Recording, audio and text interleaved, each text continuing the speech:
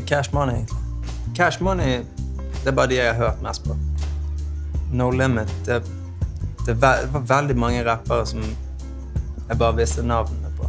Men uh, jeg, likte veldig godt Hot Boys og Big Time. Og så. Jeg vet ikke. De var på en måte litt rikere. Og det var jævla spennende. De var, jeg følte de var kjemperike. Eller veldig hoodwish. Du er egentlig begge deler, da. Det er jo det du vil, eh, vil alltid aspirere til å bli. Du vil være både ung, heit og uh, storpappa, på en måte. Best of both worlds. Jeg må si Dickies. Jeg har aldri gått med Tommy Hilfiger. Det er ikke fordi jeg hater på Tommy Hilfiger. Jeg syns det er på en måte veldig synd at han er liksom blitt gjort til en sånn rasist. Jeg tror egentlig ikke han var rasist, men alle trodde at Tommy Hilfiger hatet svarte folk. Så folk sluttet å gå med det. Men jeg gikk aldri med det i utgangspunktet. Så, ja. David Lynch, all day.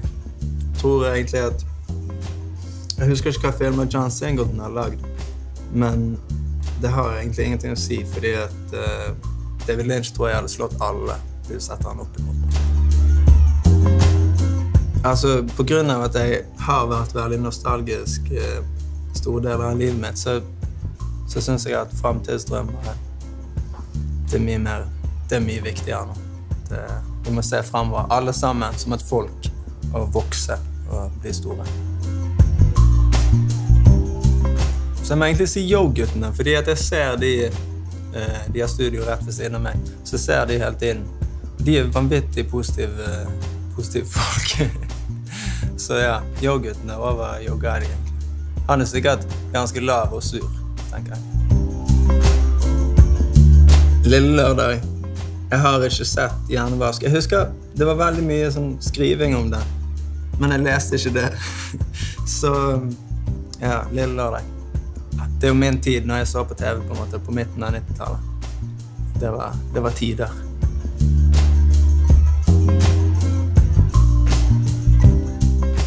Jeg i Dagbladet. Det er egentlig det jeg kan si om den saken.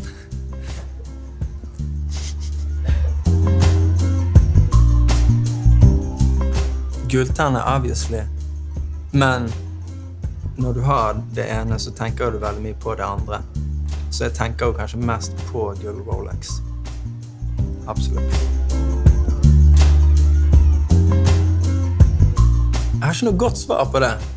Det er jævlig vanskelig, vanskelig spørsmål. Det, kommer, det er liksom som vet, mandag eller tirsdag. Hva er best av mandag og tirsdag? Du aner ikke, liksom. Kanskje mandag og fredag, der har du en favoritt. Men mandag og tirsdag de er ganske like. Jeg vet ikke. Kanskje Tupac.